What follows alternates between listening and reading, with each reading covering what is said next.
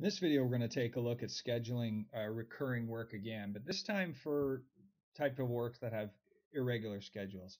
We're going to take a look at um, things like lawn care that aren't on a predictable, say, weekly or biweekly schedule, things that happen at different times throughout the year depending on uh, the weather and the seasonality. So more for lawn care scheduling uh, is what we'll take a look at here.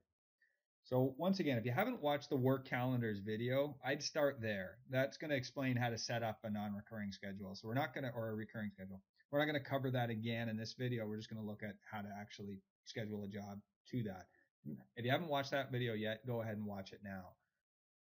Now we'll pick up for those who have watched it. We'll show you how to schedule a lawn care type or non uh, non-regular type um, schedule for a job.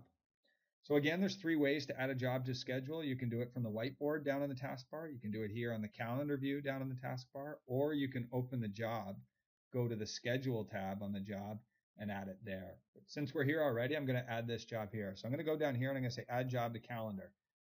So what I need to do first is pick the job. So you can search by name or by group, or if you know the job name, you can just drop it down. I've got one set up. So I'm going to do it. I'm going to schedule the Alpha Bank job.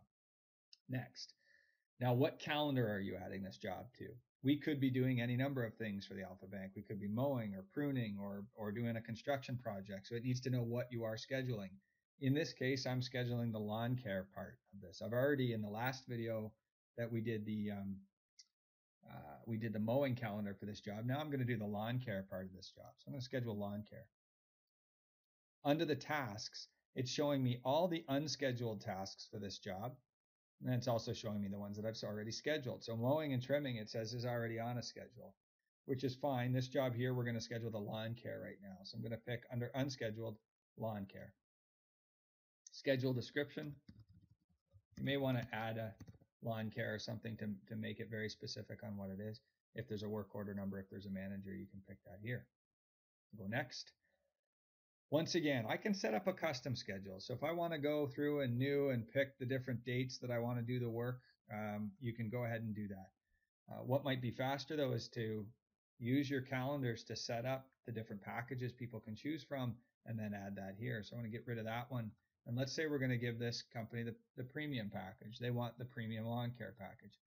It starts on April 15th. On April 15th, we go and we do a, a fertilization one.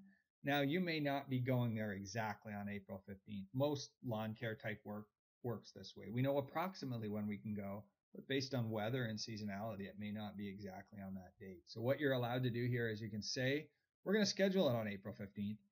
We just want to make sure it's not done earlier than April 1st or later than April 29th. And if you drag and drop that scheduled event outside these areas, you're going to get a warning flag. The first thing we're going to do is apply fertilizer. April 30th, we're going to come back and apply grub control. May 13th, we're going to do weed control. May 28th, we're going to do fertilization. You can change these. If I know that, you know, I want to do these on the on the 12th, that's fine. But again, you don't know all these dates up front necessarily at the beginning of the year. So you want to get the approximate date, and you can use these ranges to uh, to make sure you get it done within the range that it's it's specified. Service types, if you haven't watched the service types video, definitely a good idea to watch that rather than just scheduling a bunch of visits and not knowing what's happening, what we're actually doing is scheduling a very specific service. So fertilization one, grub control, the first application of weed control, then fertilization two, then compost tea, and so on and so on until we get through our eight visits that's part of this premium package. Going to click next now. And now it's going to read the job in LMN time and say how many estimated man hours are on this job, how many number of visits am I trying to schedule, and therefore what's my estimated man hours per visit? And if you need to add or subtract from this, you can always change this estimated man hours. Note that this will change your schedule. It actually isn't going to change your job in LMN time. You're going to have to do that manually, um, but it will change at least the schedule. And that allows you, some companies give crews different goals than they're actually going to schedule. And so it gives you the flexibility to do that. Uh, planned crew, I'm going to pick my lawn care crew. Planned crew size is one. I got the one guy in my lawn care. If you had more, obviously you could you could change that productive hours or productive crew hours per visit is what it's doing is taking the um, estimated hours per visit and putting that number here. And unproductive crew hours per visit is my drive time. So assuming this is my average hours per visit, that's my average drive time, my schedule is good. If I need to change any of this, I can do that. um, but I'll leave it as it is for this video. So basically, it's going to schedule one hour and one minute, which also includes 12 minutes of unproductive time every time I need to go uh, hit this job. So we'll go next, and it just gives me a quick summary of that. And then I'll go next again.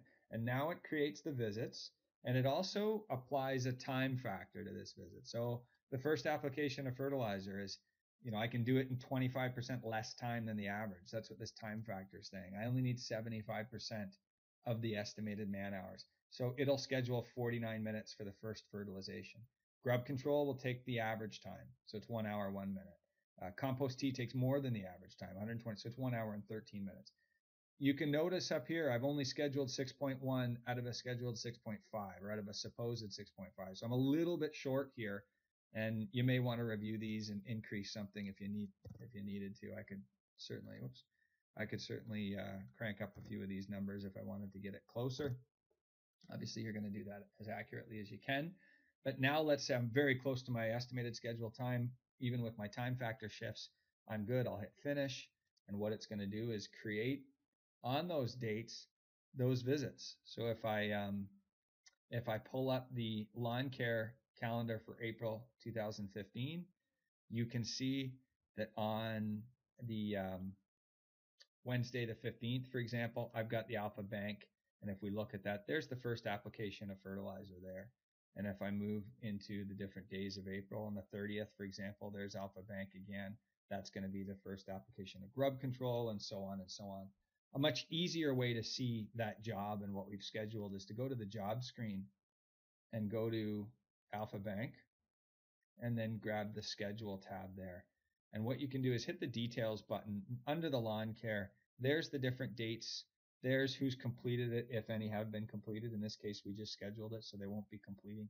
And then we've got what calendar it's on and what the visit type is and what crew it's been scheduled to. So there's the schedule for that job. We can start changing that. If I know at any given day, I can drag and drop it on the schedule. I can come here and say, well, we're actually not going to hit this one until um, a different day. I can go to edit today and, and change, uh, move today's visit to a new date. Let's say we're going to get it on the Friday and set and apply the change. And there we go. I've got the new visit. So you can change the schedule at any point at any point in time, but at the beginning of the year, you want to get the basics set up for your lawn care, and that's how to add a job to the lawn care schedule.